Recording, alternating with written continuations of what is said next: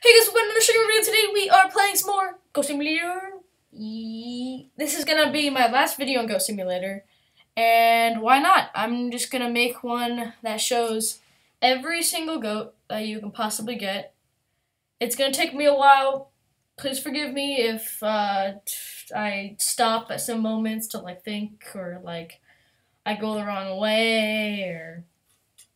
But uh, I'm gonna have to remember all the ways. In the description, I will put all the times. I'll put all the goats that you can find and all the times so that if you're just looking for one goat, you can just skip to that time and you can watch.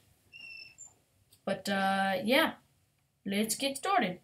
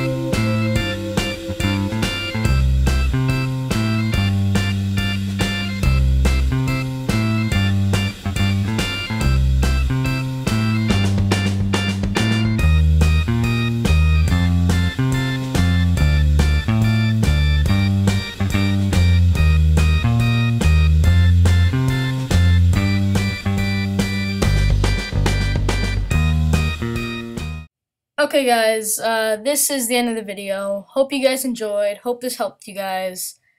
And, uh, yeah, like, subscribe, and, uh, peace!